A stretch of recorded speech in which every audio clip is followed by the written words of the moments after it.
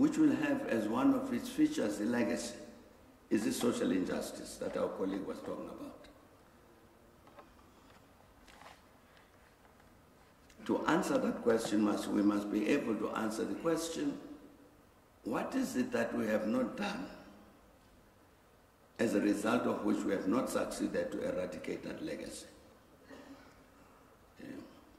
Because I'm saying within that legacy, we will find the social injustice that is spoken of, which would, would include this discriminatory thing in terms of the wages, salaries, earnings of the Banyana Banyana versus the Bafana Bafana. Manifestation of the same problem. I'm saying there's a larger question. Uh, the radical change of the society away from its past. Um,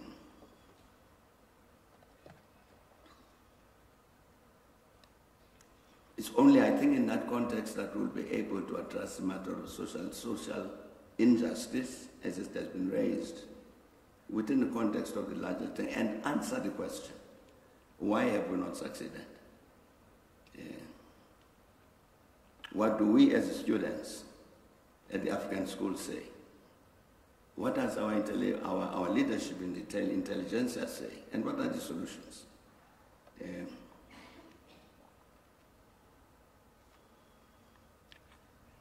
The, the, the question that was raised about uh, inf infant, infantization, infantilization, okay.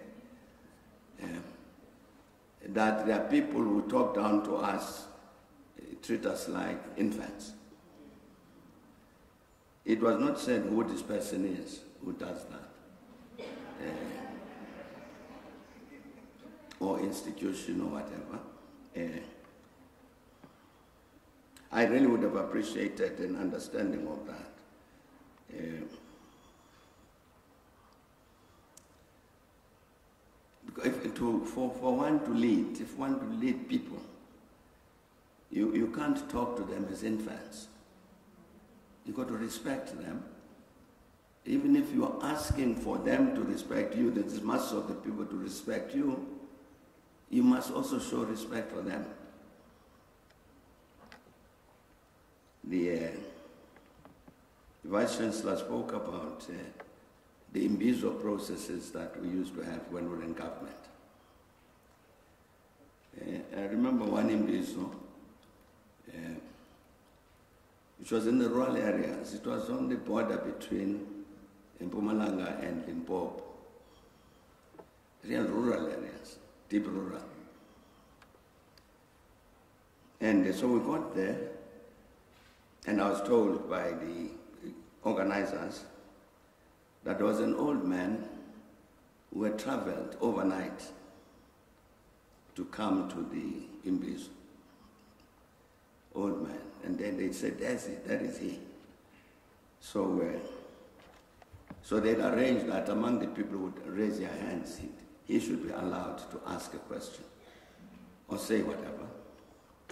And indeed, he raised his hand. And he said, uh, President, I'm not uh, standing up to ask for anything. I'm standing up to say thank you very much for what you've done for me. Uh, I have a pension, he says. It's a good pension for me which you increase every year. And thank you very much. And it says, You've also given me a house. So I live in this house, I'm, I'm quite happy. So as you can see, President, I'm not complaining. But President, you know, uh, one of my problems is, uh, a, a major problem, is that uh, my wife passed away many years ago. Yeah. Now, this is my request. Please get me a new wife.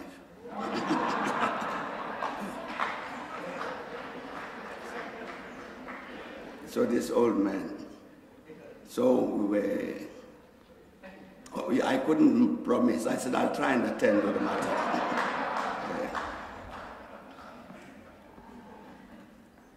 But what was interesting, really, and that's all the old man said. But why, the way it came across to me is that this old man had come to a conclusion that here is a government which respects me.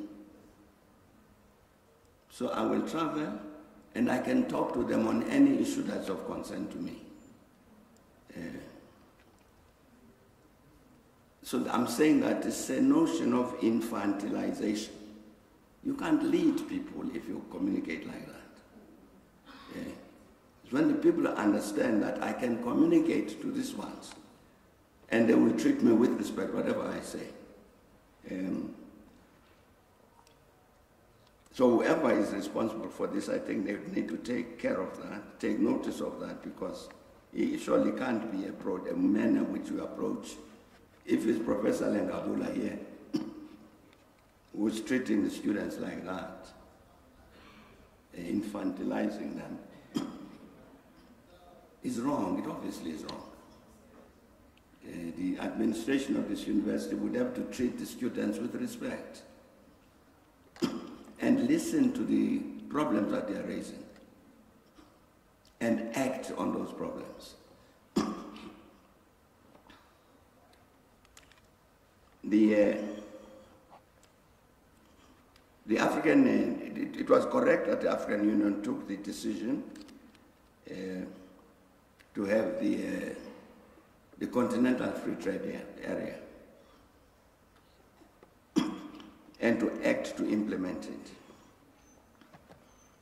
But again, as I was saying at the beginning, it's very important, I believe, to understand uh, objectively what we mean to achieve in, those, in that context.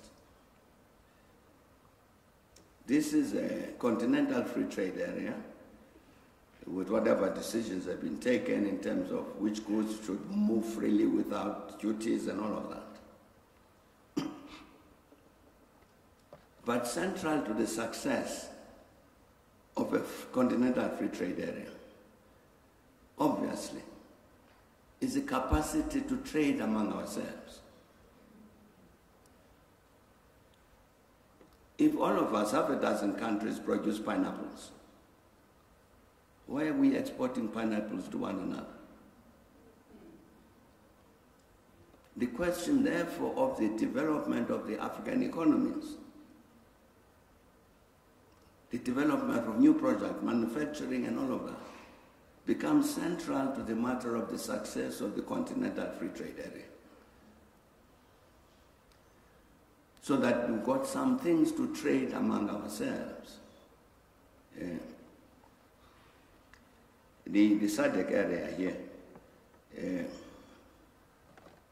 long time ago, took various decisions which have got to do with this integration, with its own uh, free trade area and all that.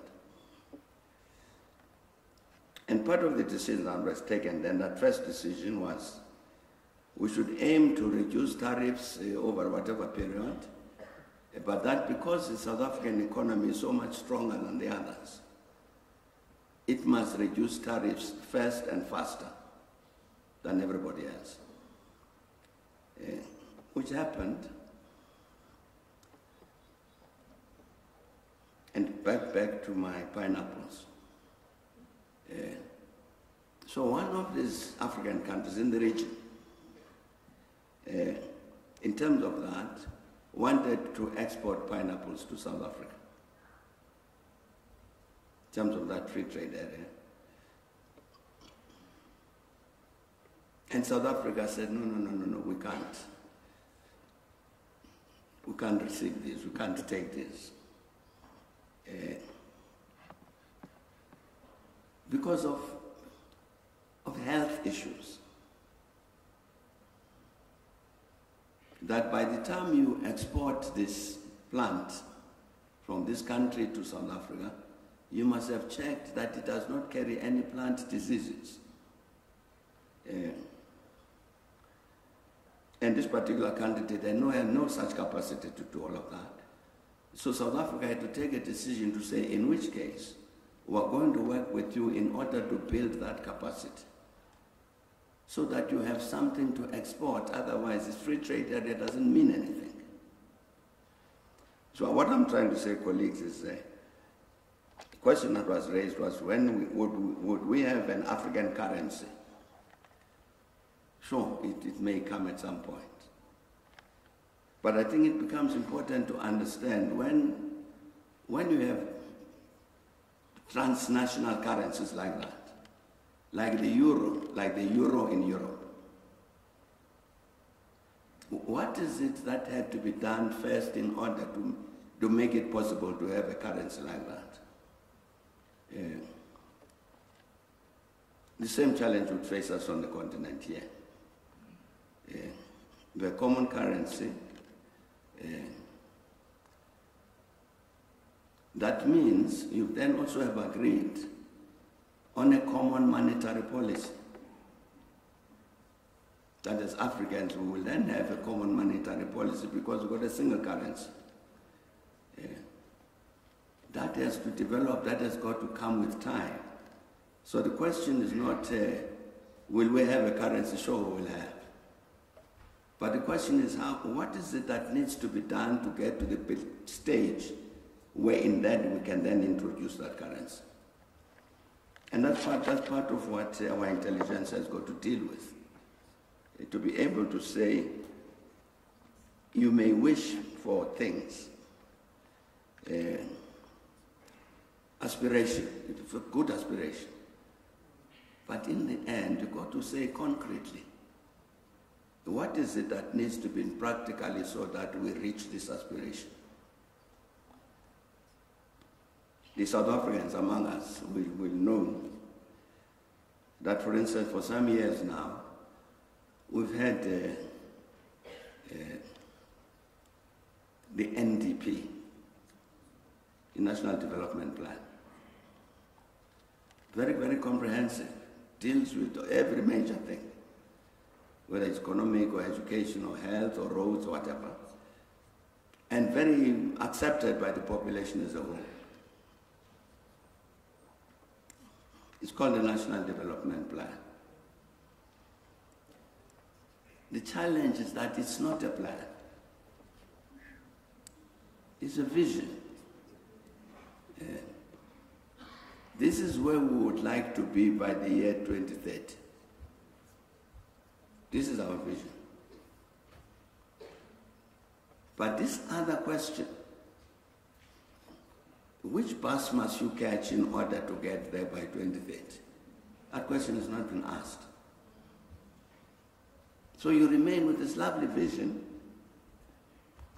and we complain to this day that nothing has been done in order to implement the National Development Plan. Nothing has been done because there's never been a plan. Yeah.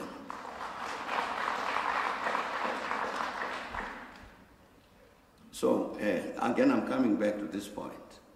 So when we say we want a common African currency, um, we want a, a, chancellor of university who must speak loudly about university matters. Uh, it's got to be based on an understanding of the reality we're dealing with. And back to the matter, therefore, of the quality of the intelligentsia that must come out of this school. Uh,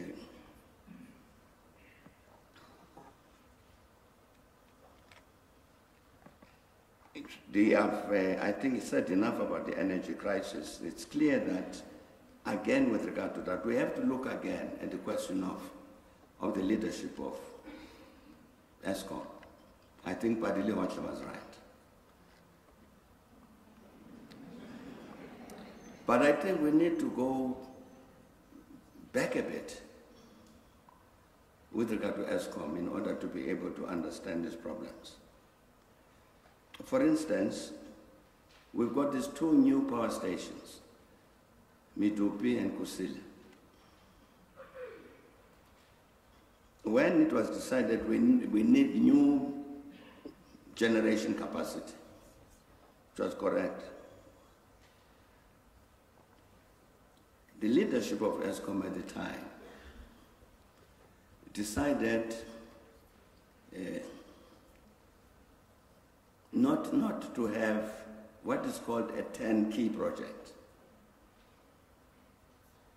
Now, a turnkey project is uh, the University of South Africa says it requires a room as big as this, uh, which must be able to seat a thousand people, and they want it ready in three years' time, uh, and they are prepared to pay so much. And then you put out a tender, and Thabo Mbeki Incorporated Company, they win the tender. All of the university wants is that this company must produce this hall in three years' time according to the specifications. now, who, who, my company, to whom it subcontracts, no, you must uh, do the rails and you must do whatever. That's a business of the company. University wants a hall like this according to specifications in three years' time. the leadership of Eskom did not do that. to put these turnkey projects. But it broke up the contracts into pieces. So that the contract from Medupi, instead of being one tender that goes out, you put out 20, 30 tenders for elements of this one contract.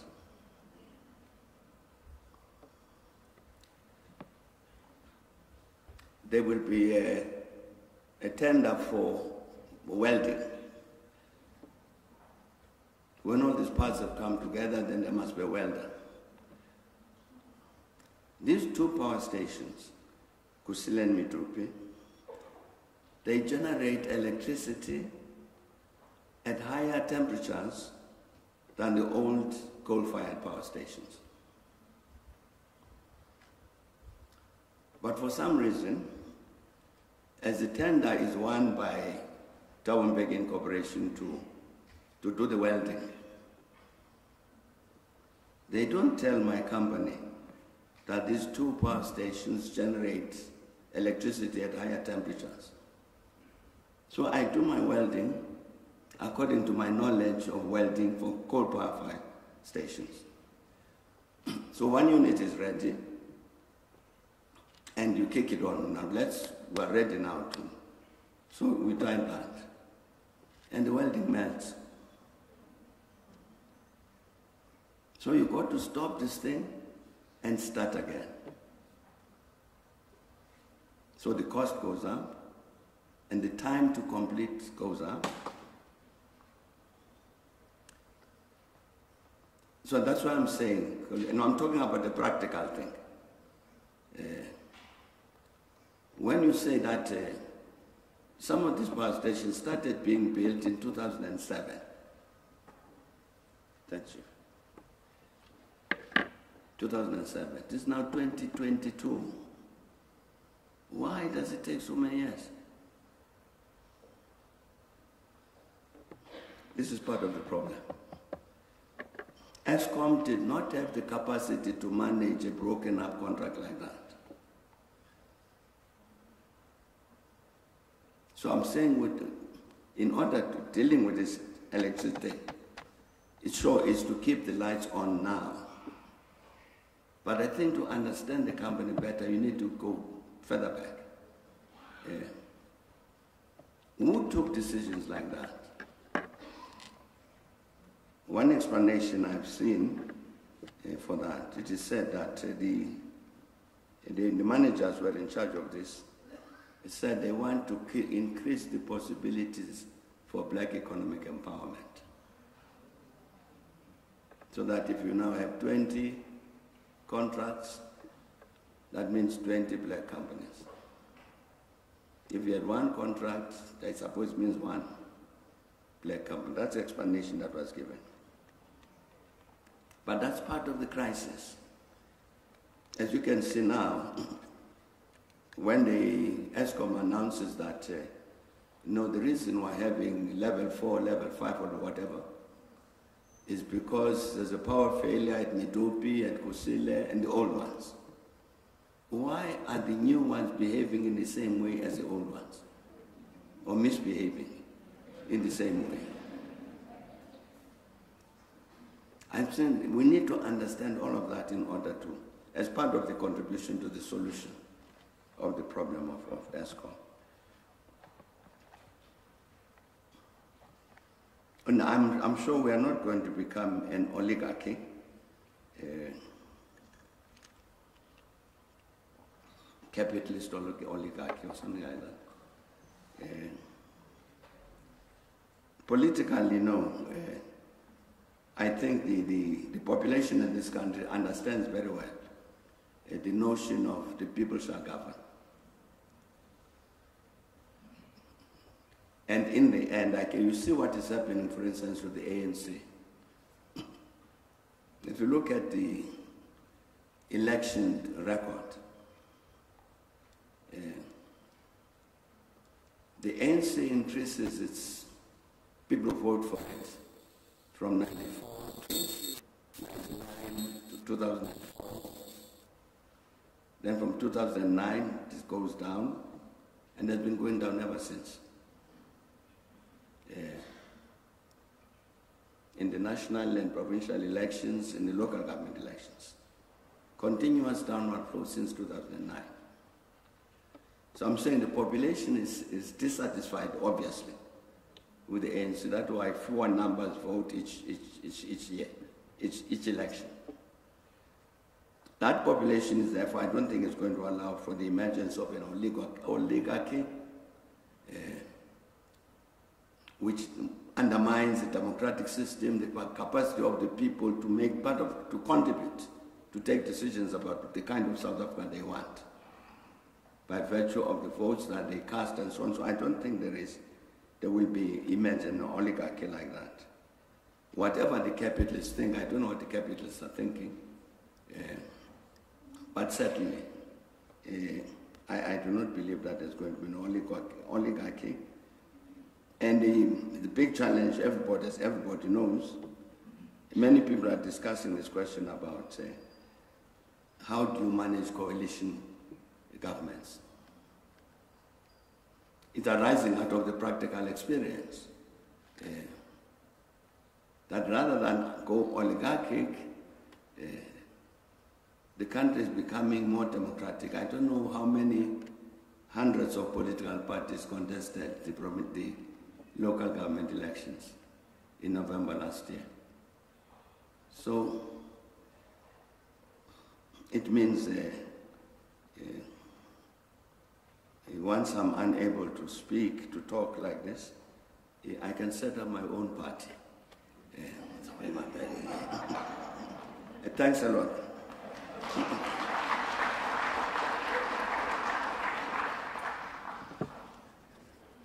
Thank you, Chancellor.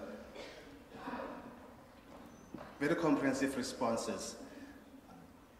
I'm going to allow questions. I'm hoping colleagues are ready with the microphones. Um,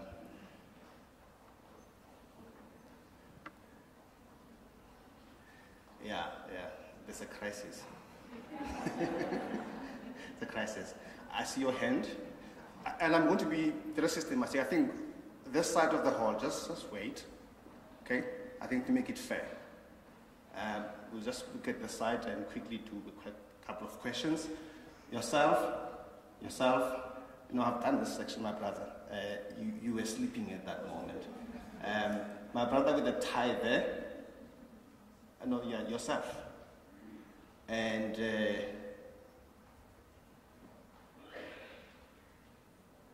I'll, I'll take those three questions. No, you, you are first. Yes, you are indeed first. She's indeed, indeed first. Number two, number three.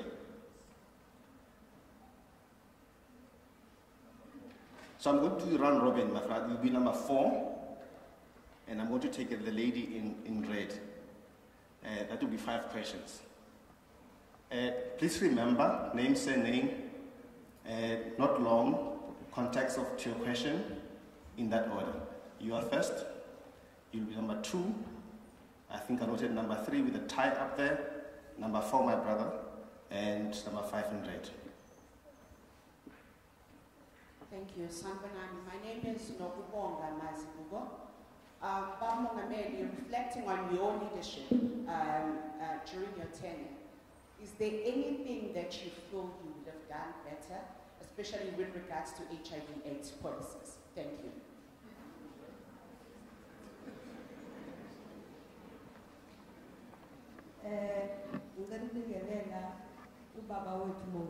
Namuhla igama lami nguZukolanga eh i-concern yamongameli question yami enginayo why is like looks like African leaders are not willing to allow women to lead to be president of our continent and our country?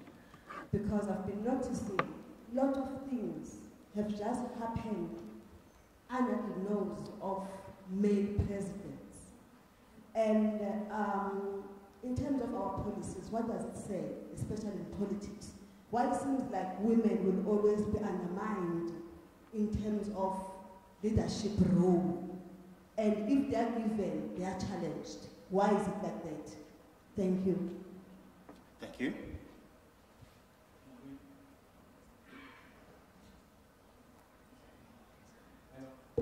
Yeah, you, you, are, you're on. Hello, President.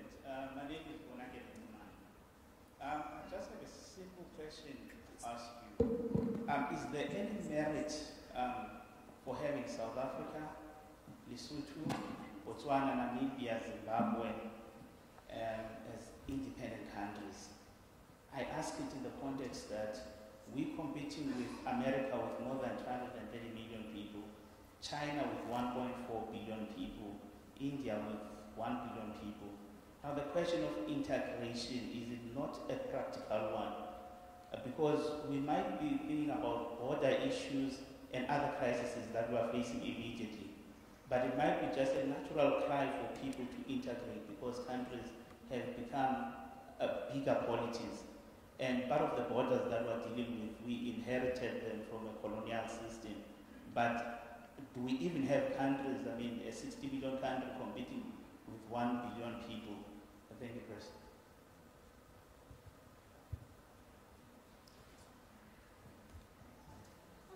Good day, good day. I'm Patrick Kayono. Um, my question is somewhat related. Um, when negotiations, negotiations were happening and determining what the country would look like, it was opted for a unitary state where uh, the other groups were more interested in the federal state. And my, my question is why, um, what is the thinking behind that? So we've seen some countries like Ethiopia where the federal state has become a bit, more complicated. And was the thinking that if various sub-national groups would form here, um, yeah, what is the thinking, thinking of not going, going towards more sub-national groups and having, and having one unitary state instead? Thank you so much. My name is Yolokazi Mfuto. Um, well, my question is on, around young people. I want to ask that um, the former president spoke um, so much about good leadership, right? But amongst young people right now, we see that there's no reward for good leadership.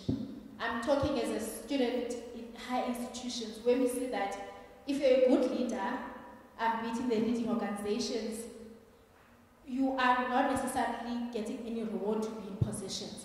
However, if you are partisan and somehow very much aligned to your comrades, then you can get rewarded.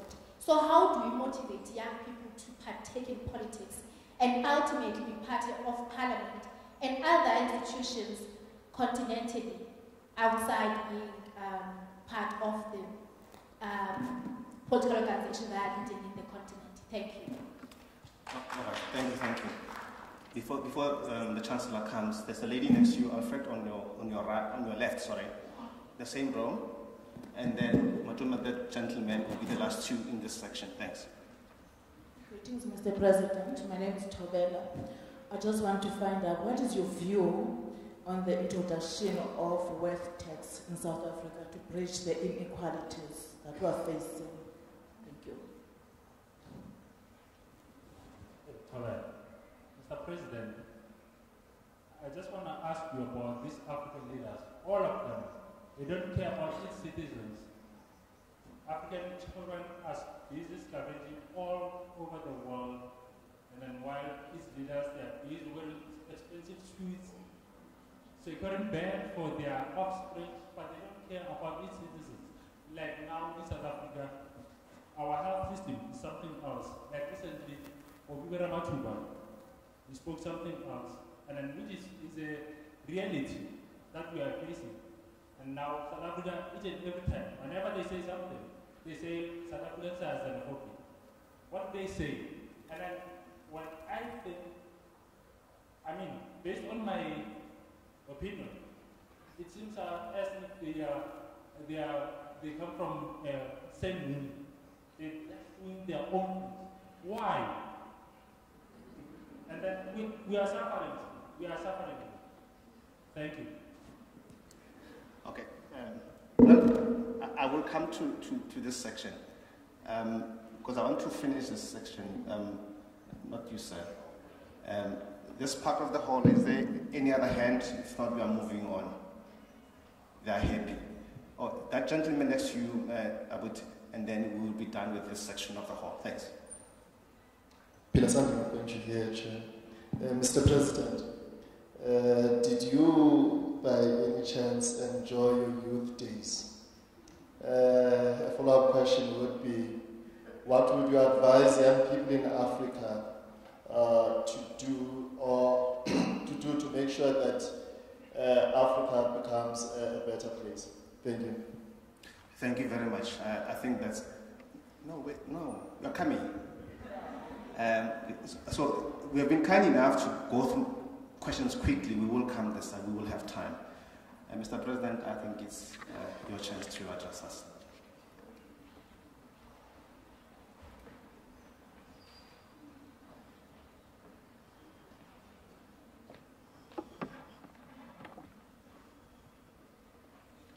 The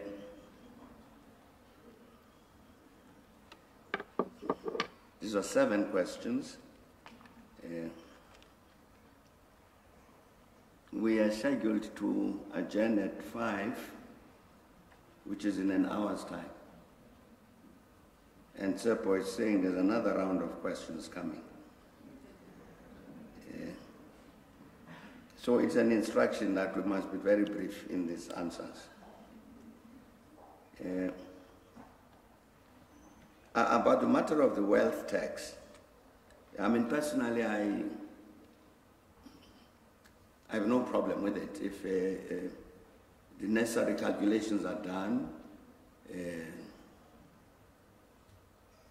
how much work would have to be done in order to collect it, its implications, therefore, for how to administer that tax, uh, its larger social impact, I mean, if all of those things are done and it indeed is viewed, it's agreed that uh, there should be a wealth tax, I, in principle, I don't think there's any problem with it. But again, we come back to the question I keep raising, that it requires thinking uh, and proper calculation and so on. Then you take a decision like that. But in principle, of course, there's nothing wrong with, uh, with a wealth tax.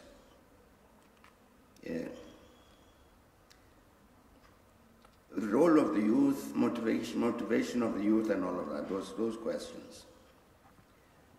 I think the first thing that needs to happen this will also relate to the matter that was raised about African women leaders.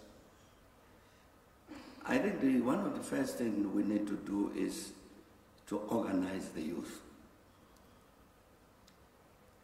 To get the youth organized so that the youth can engage one another about themselves, about their own aspirations, about what they need to do in order to realize those aspirations. Yeah.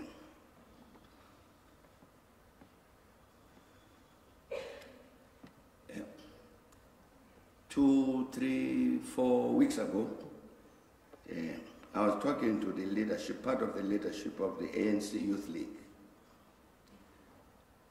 And I was saying to them, if you look at the uh, crime statistics,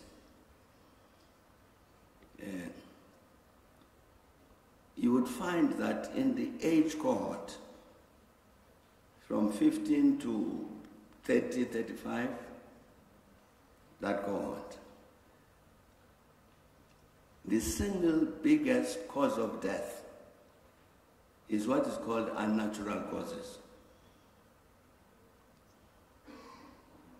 That means that young generation, the biggest cause of death among themselves is stab wounds, gunshots, car accidents, that kind of problem.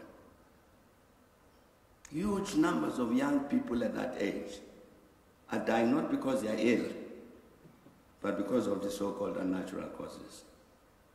It's very much part of the violence of the society.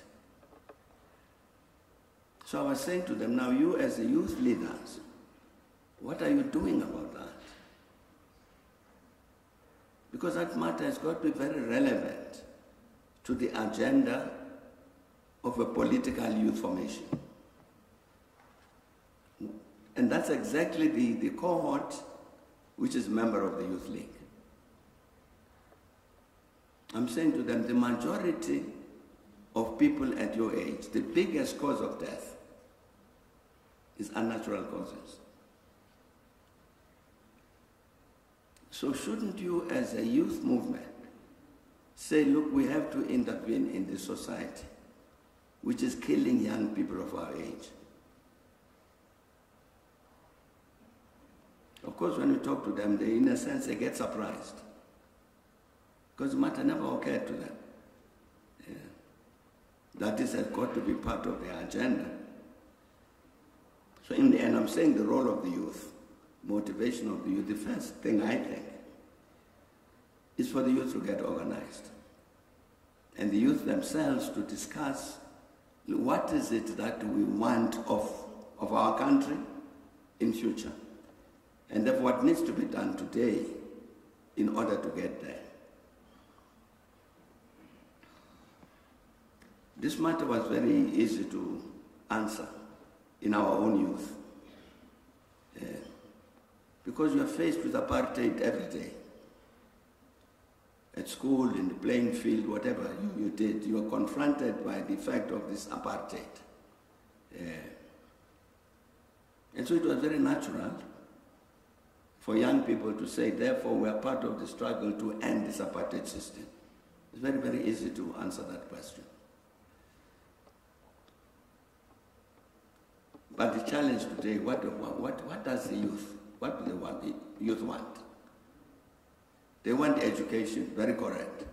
The youth must go to school and end in university, very correct. They want jobs when they finish school, agreed, it's very correct. Yeah. But when we say fine, now with regard to the construction of the society that you would wish for, what are your suggestions? Then the question does not become that easy to answer. So with regard to I'm saying the role of the youth and uh, motivating the youth, really is to say, look, the, this country belongs to you.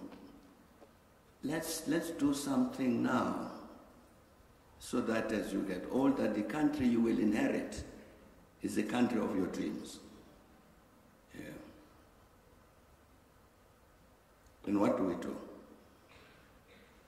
Uh, I've said this thing, used this example before, that once we went to uh, Nelson Mandela University, and this matter arose about access to higher education, free higher education. Uh, so uh, I say, yes, I agree. But I'd like uh, some of you students to come with me in a delegation to the villages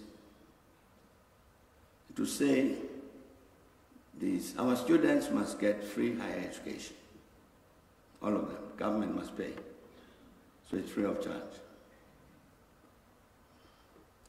But that's got to mean that for this year, we will have not enough money in order to provide clean water to the village. So let's go, you and the students, let's go to the villages. Say, please postpone clean water so that I get higher education. Because it's not as though there's unlimited sums of money which can finance everything at the same time. Choices have to be made. Uh, what about this choice? I don't remember that was any hand that stood up to say, okay, I'm ready to come with you. But I'm saying these are the challenges that, that you want to say the youth. The youth in saying, this is where we want we ourselves as individuals want to be, where we want the country to be, answer this question. What are the steps that you've got to take to get there? Yeah.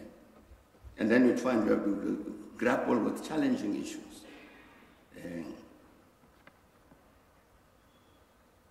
Which is fine. I think that for the youth, for the youth to be creative, to think, and uh, they will probably have better answers to the question, like I'm saying, how do we deal with this real problem?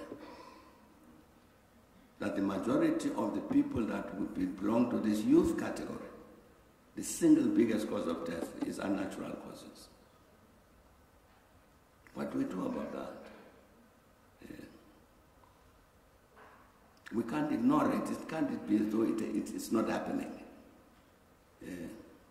And I'm saying the youth may very well have better answers than I would have to say, let's deal with this question in a particular way.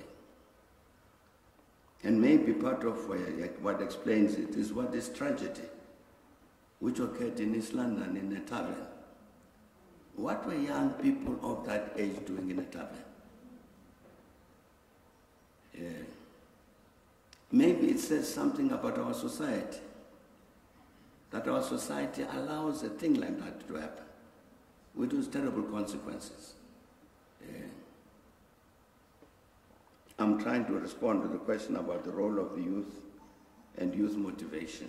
And in the end, I think let's first of all organize the youth, making sure youth is organized and is able to engage one another in order, in, in fact, even to answer this question. What should our role, what we think our role should be as a youth? Yeah. I think that that would be important. Tsepo did say earlier, from what I remember, uh, that uh, on one occasion we talked about uh, main, gender mainstreaming. this question about women leaders. By and large, on the African continent, by and large, we inherit patriarchal societies historically, traditionally, peasant society mostly in the world are like that. Um, and we want to move away from those patriarchal societies, exactly to create a space so that women can play an equal role with men without discrimination. We want to get there. But how do you get there? The gender mainstreaming concept and practice is very, I, believe, very important. There was a study that was done in this country in terms of the universities, uh, the teaching staffs. Uh, and the basic conclusion was that within the professors and senior lecturers and all those people, there's continuing discrimination against women in terms of that system. And an example was given that, for instance, uh, you have a, a woman lecturer who's also a mother of a young child. So she comes to lecture here, but at a certain time, she's got to drive to go home to go and breastfeed this infant. So for so many hours, she's away from university. And that impacts on the prospect for her promotion. So That's discrimination because the men don't breastfeed. So they are, they are at university for 20 hours. Yeah. But she has to leave. She can't be there for 20 hours continuously. So one of the US universities said, in which case, why, why are we not then creating a situation whereby she does not have to leave university? Let it become the responsibility of the university to create a crash, to have baby minders, so that when uh, Professor so-and-so has got to go and breastfeed, she just walks down the passage. Just it does not lose so many hours, which counts against her in terms of promotions within the university. I'm saying that's an example of gender mainstreaming. When you say that uh, uh, raise this question, very legitimate question, about what is happening with regard to the matter of women leaders on the continent. The, the answer has to be that bearing in mind the reality that we inherit basically patriarchal societies, in order to defeat that patriarchy, you've got to engage in this gender mainstreaming. It's a conscious effort. Uh, so that you might very well find women who are because of this history. The men are very loud and at meetings. They know how to shout and to be seen and to be heard and, and all of that. And the woman is a bit shy, can't tell. But you, you want them to be outspoken, to be as vigorous as these men. But you've got to take particular measures in order to create a possibility where you build that confidence so that women can intervene as any other. That's why I'm saying that and talking about this gender mainstreaming. It's got to be a conscious effort. Yeah. Women's leagues. Yeah.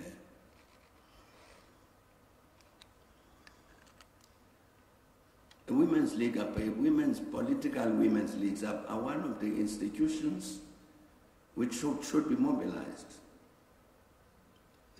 for this purpose. So it's a task of the Women's League to make sure that the matter about discrimination against women is addressed. And this is what we need to do with regard to that.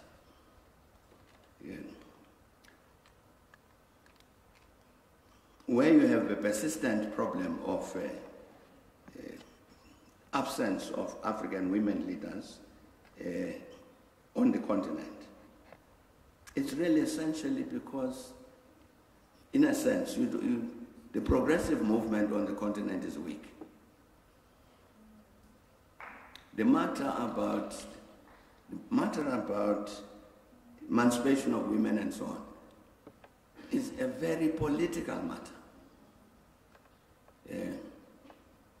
And where you have a progressive movement that is very weak, it will perpetuate the patriarchy.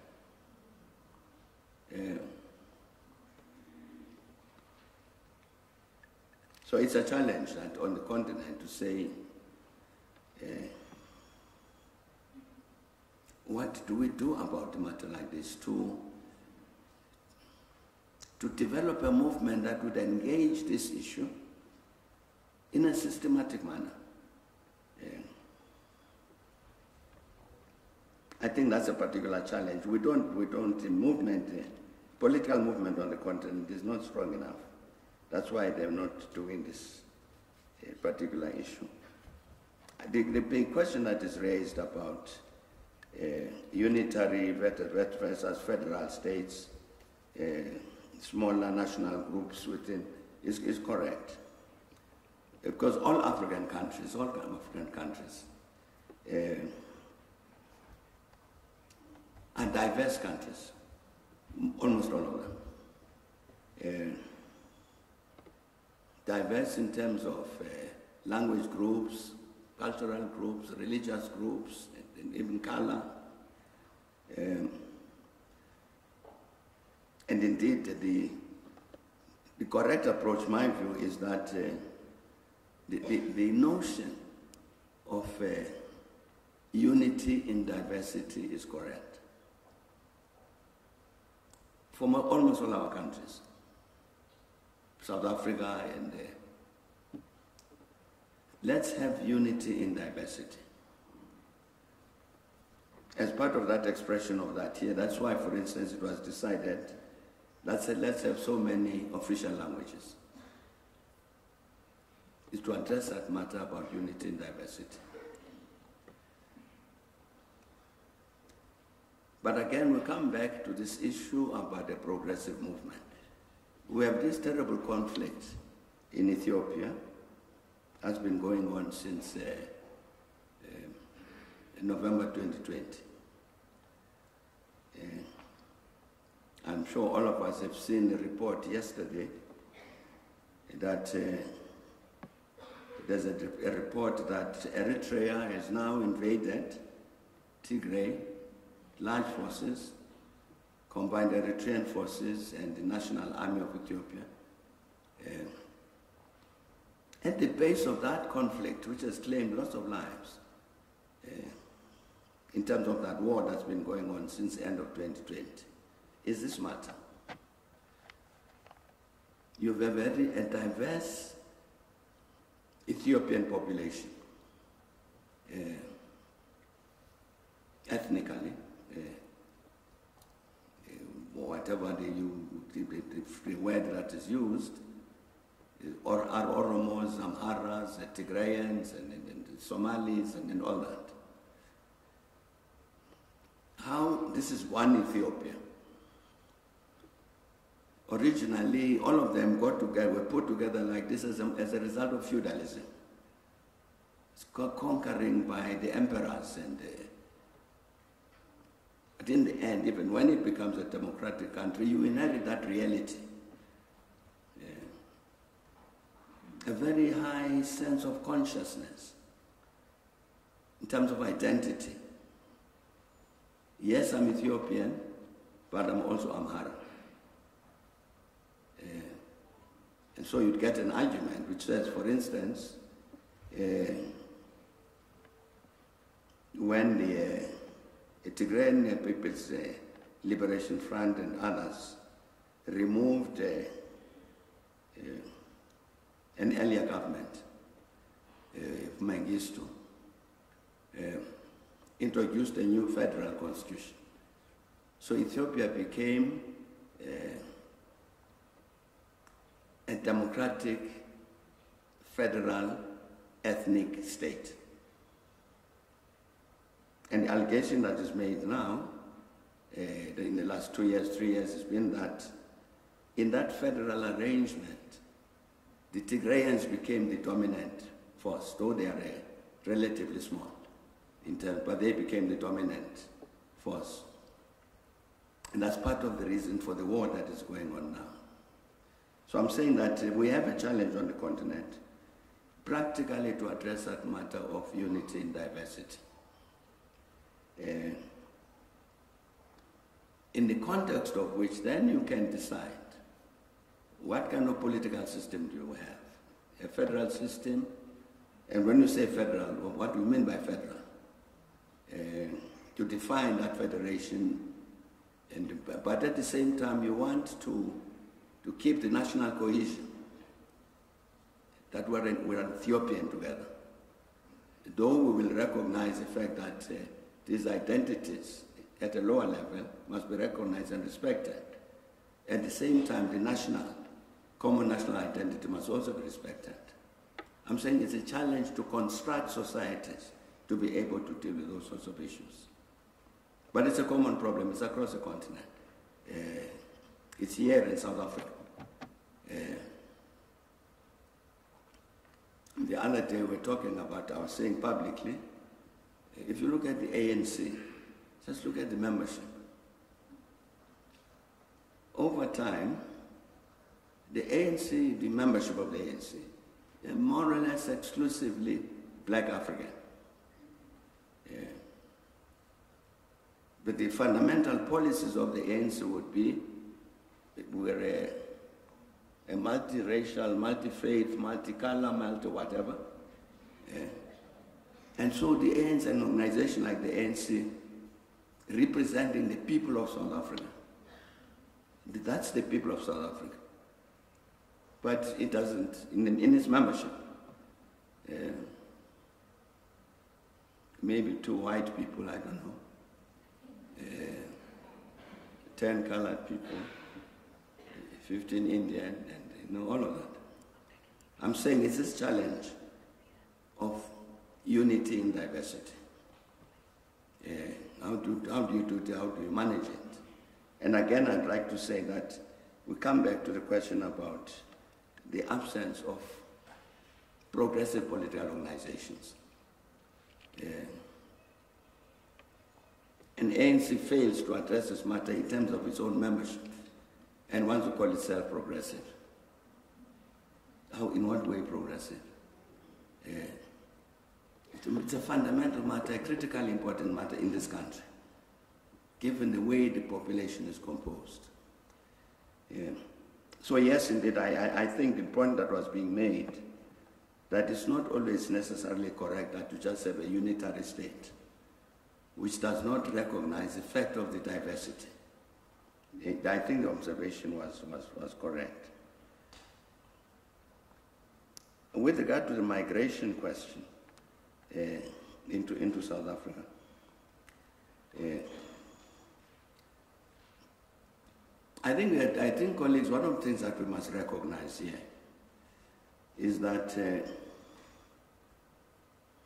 as, as our people in the country engaged in the struggle uh, to liberate ourselves from apartheid, the rest of the continent engaged that struggle got itself involved. Support to the liberation movements, uh, support to students. We had lots of students, for instance, after 1976, who left and uh, absorbed into schools across the continent. Uh, and the African continent has felt for, for, for a long time very, very close to this country that it had its own responsibility to assist in the liberation of the people of South Africa. In, in, in the region here, uh,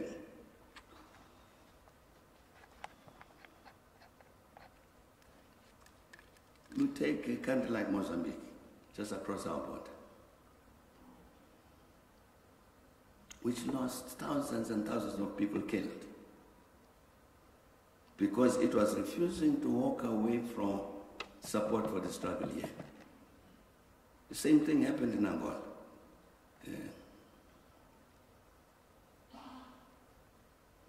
Yeah.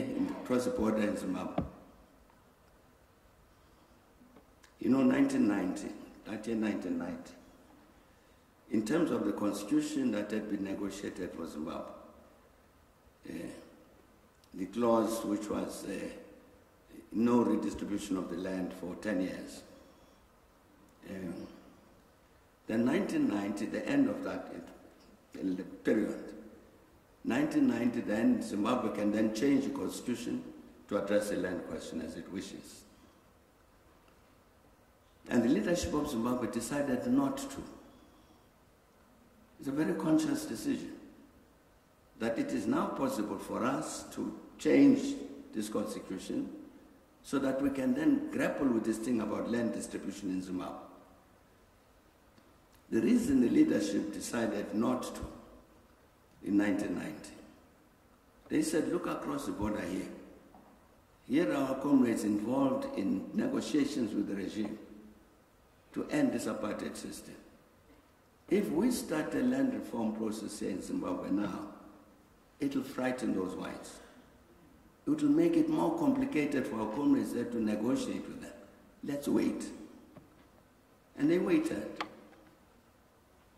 With terms, in terms of implementing the reform, land reform program, it was entirely, entirely not to complicate our situation here.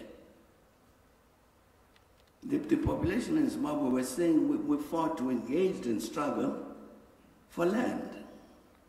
So, in order to uh, agree to the transition, we agreed temporarily that, okay, we'll get it fixed like this. But now the, that constitutional restriction is no longer there. And Zimbabwe leadership said, yes, we know very well we're part of that struggle. But it's important that our South African colleagues down there, they should succeed. So I'm saying, colleagues, people, maybe many, many, many of us here would not understand this. The sense of engagement of ordinary Africans with this struggle here. Even the Nigerian government says government not, doesn't have enough money. But people, you, the public, please contribute.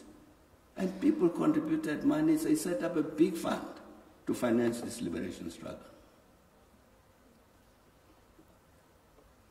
South Africa must be free, therefore, let's do whatever we can uh, to contribute to that.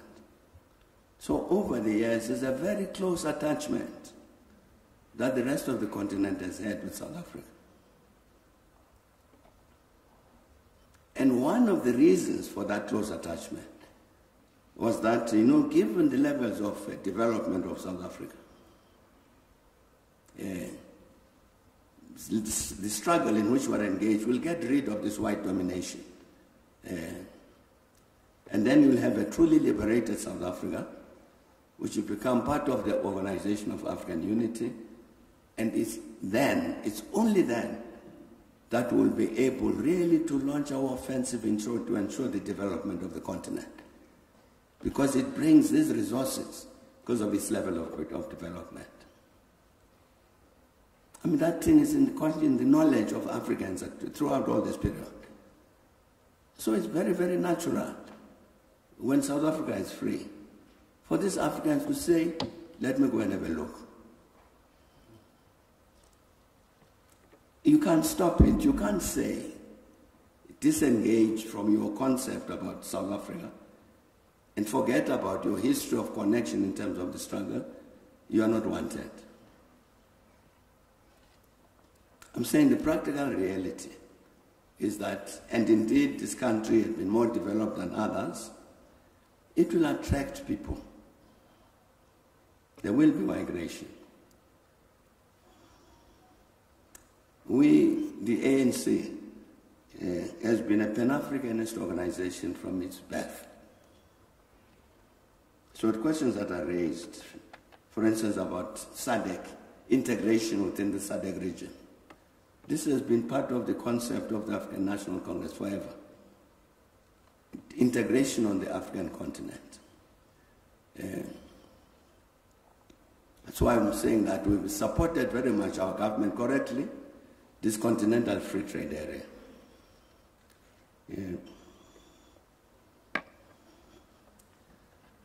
Now, we, we've got to communicate our messages correctly. I agree with the, point that was made. The countries in this region, South Africa, Namibia, Botswana, Lesotho, and so on, the point that was made. Not that uh, they should exist to exist as independent countries, but this matter about integration, uh, the possibility to develop the economies together, uh, at one point, we, uh, in government, decided that there must be some way by which we help the, when the tourists, tourists come to South Africa, help to get them to go over the Drakensberg mountain into Lesotho. So go try and build roads and, and do whatever. Because this idea of integration among ourselves. It's a strong idea, we have to act on it. But I'm saying there is a, the, the obvious thing that will happen, it will continue to happen, eh, of other Africans coming to this country. Now, I don't believe that we can have, now I'm talking from point of view of the ANC, you can't have an immigration policy which is just defined by chase away these foreign nationals. You can't.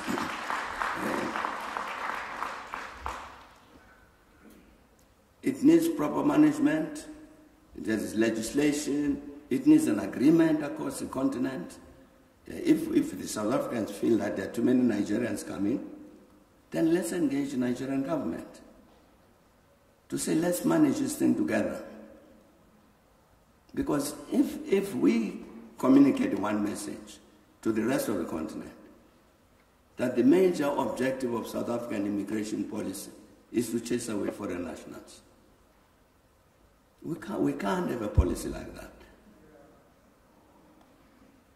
You know, even today, uh, before the Continental Free Trade Area, all these big supermarkets, ShopRite, Checkers, or whatever the answers are, they are all over the continent.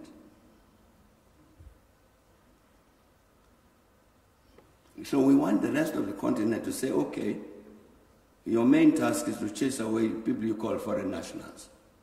We're going to chase you away too. As the ANC, you can't lead a process like that. It's not right. Uh, you know, uh,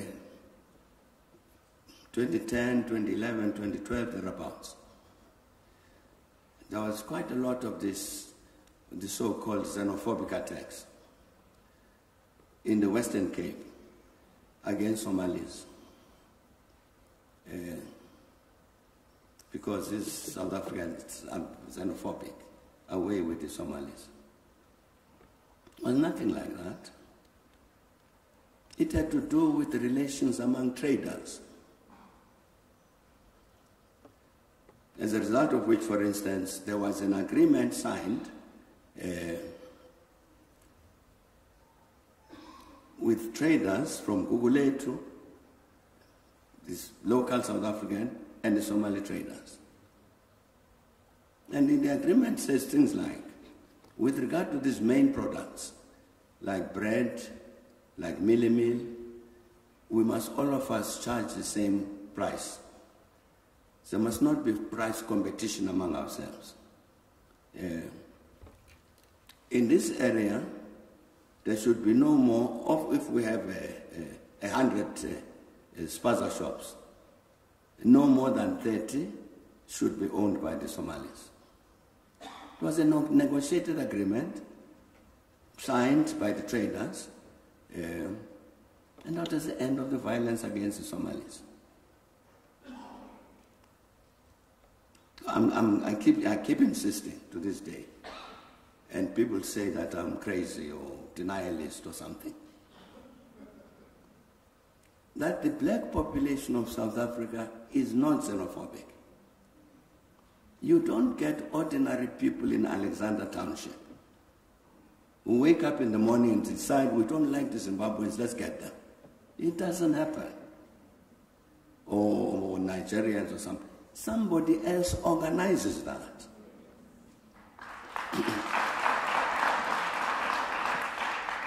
Somebody organizes it and says, uh, like the Cape, the Cape Town, Western Cape instance I'm talking about.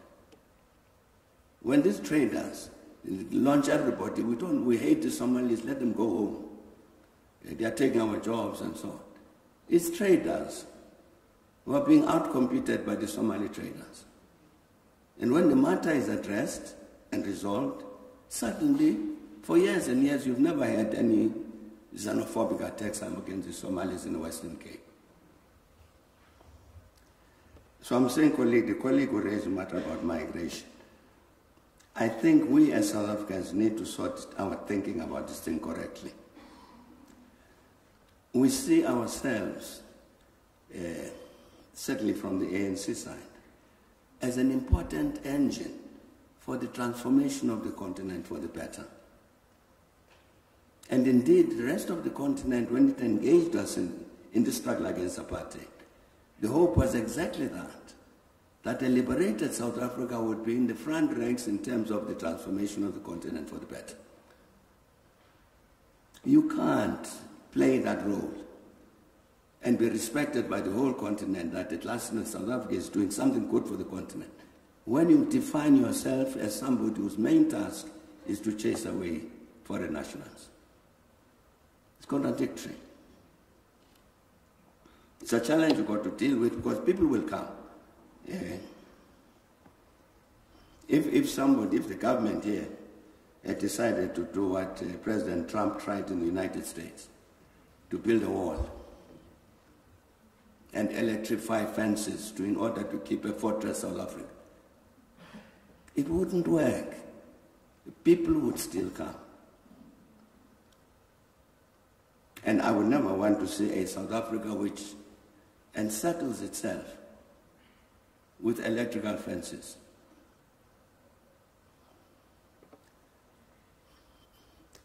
There was a leader, one of the leaders in, uh, in Lesotho, a political leader. He says to me one day that uh, his mother says to him, uh, Can you please give me 40 rand?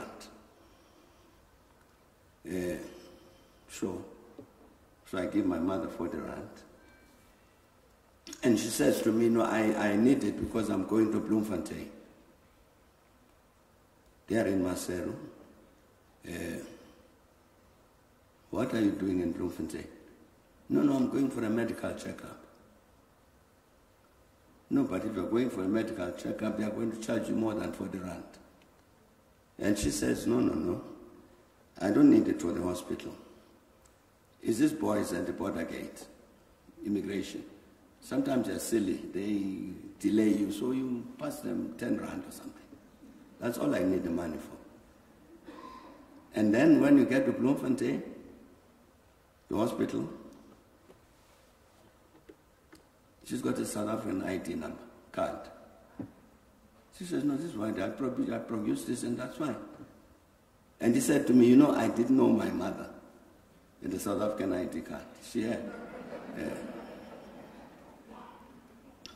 the reality, part of the reality here, is that you have many people who cross from Eswatini to South Africa to collect grants. It's the same for the Lesotho. Now, do you want to put an electrical fence there to stop those people coming? Yeah. These are other foreign nationals who are coming to take your grants.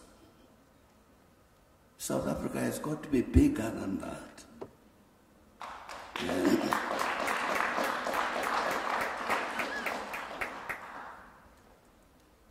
And certainly the matter about integration is critical to the issue that we're talking about of the transformation of the African continent.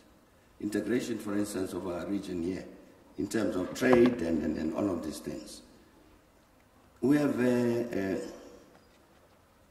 a, a SADC agreement, a SADC agreement which provides for free movement of people.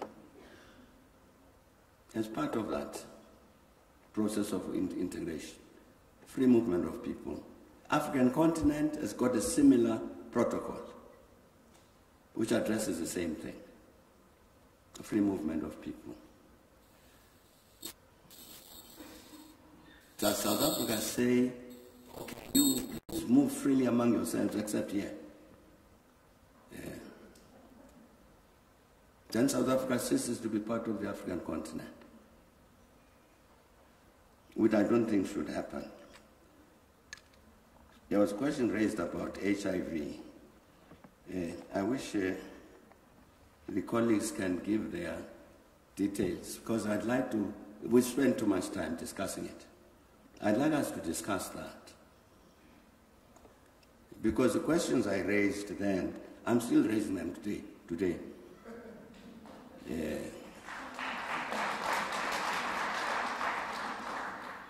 You see, for instance, I say uh, AIDS, the acronym.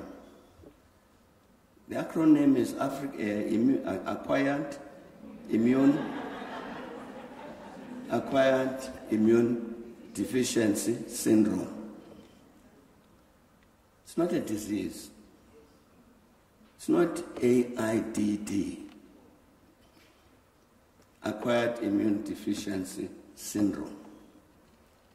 Now, a syndrome, in medical terms, is a group of diseases. The syndrome. So, all of these diseases which fall within this syndrome meningitis, TB, uh, in the syndrome. Now, when people then say to me, uh, HIV causes AIDS, I say one virus causes a syndrome. It diseases a whole syndrome of diseases with known causes. Causes of which tuberculosis are known and it's curable. But it's part of the syndrome. So you can't say one virus causes all of these illnesses. What you can say is that this virus impacts negatively on the immune system. It impacts negatively on the immune system. It's that weakened immune system which results in the syndrome. But there's a consequence to that kind of thinking, which is, therefore, when you go to test and that test says HIV positive, the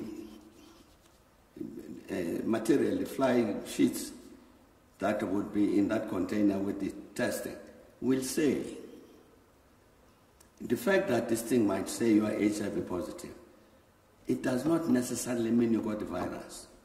What it means is that the immune system is responding to something that is threatening the body. And therefore, you need a clinical analysis in order to, to determine what is this thing that the immune system is rejecting. It's, it's in standard, it's in all the medical documents that go with it. And it's correct. Because then you've got to go into this clinical examination in order to, to determine which of these illnesses in the syndrome is the one that's affecting this person. And then you treat the person for that particular disease. I'm giving that as an example that the questions I asked then, I still ask them today. If you say there's a virus which causes a disease, I understand that. But they're not saying that. There's a virus which causes a syndrome. I'm not a medical doctor. But the logic of it to me that sounds funny. Yeah. Unless you say yeah, there's a virus, HIV virus, which has, it impacts negatively on the immune system. When it talks about immune deficiency, it produces immune deficiency, among other things, which results in the body then becoming open to this syndrome of diseases.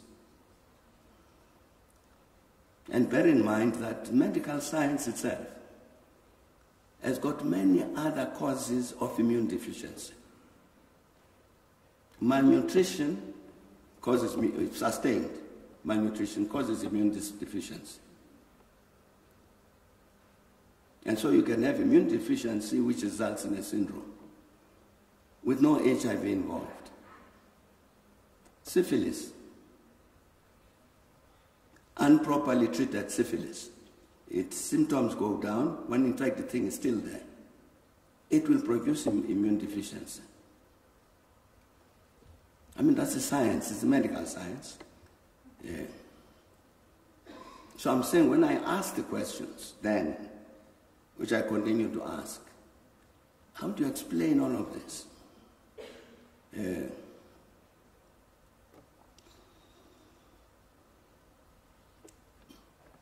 So we try to do our best to, I'm back at what I was saying earlier. You know, when, when people say, those of us who are old enough will remember this, uh, in the 90s, that, uh, you know, this HIV and AIDS has hit South Africa. It's going to decimate the population. Real killer. So we are all in government, and so we discuss this thing and say, but this is what we are told. There is this disease, it's called, which is really going to decimate the population. And therefore, we have to respond to it in an effective manner.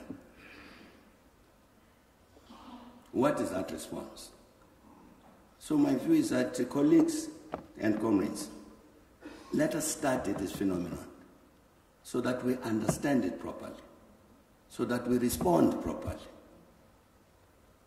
And indeed, without medical, being a medical scientist, you read and read and read, read lots and lots of stuff. And that's where you get these questions raised by medical people.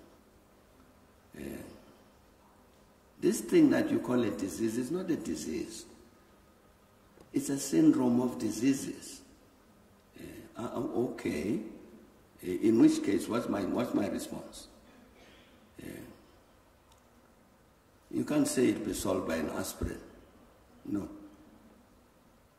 The various interventions you need, which is why the question was raised uh, by the then Minister of Health in a very dramatic fashion. Nutrition. Nutrition is very, very critical to solving this problem. And that's why she was saying, therefore, you must take garlic and beetroot and so on. She was not saying uh, those things, then you're going to be cured. She was raising the matter about the importance of nutrition. And those particular types of foods, even today, have been raised in the context of this COVID 19. The same, same thing.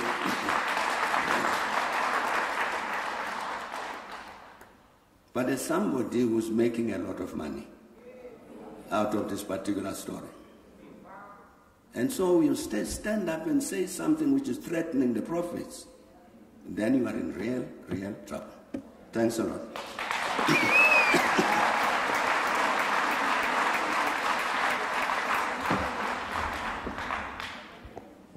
Uh, colleagues, we're going to play lottery, eh? not proper lottery, because we have run out of time. Then um, the president has been very, very detailed in his response. I'm going to take three quick questions in this block. Uh, one, two, have, well, the two of you are, are in the same row, two of you, and there's a hand that, yes, you gentlemen, and I'm going to take four hands this side, four hands this side. Oh, the, the VC is doing something interesting. Uh, so I'm going to do this side. There's a gentleman in front here, not the journalists here. The, behind, I want the lady, yourself, ma'am, in the gray. And I'm going to take the gentleman behind you. And I want one last female, and I'm going to take you in the floral. Um, those will be the four. Um, in that order. Three the side, four the side. Uh, uh, sorry, colleagues, let's start here. Yes, please go ahead. You guys will negotiate who's the two. Please go ahead. You, you can go, shoot, say you have a mic. Uh, colleagues, the microphone seems to be switched off.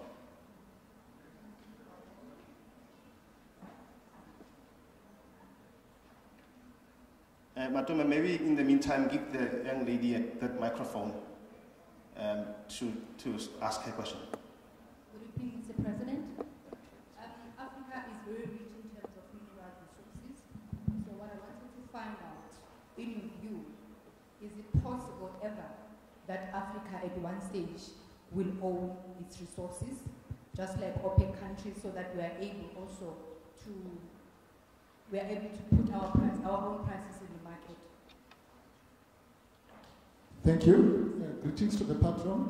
Uh, my name is Given Mabasa. Uh, my question really relates to you know the event following or preceding the death or burial of Her Majesty the Queen. We have heard a lot of comments.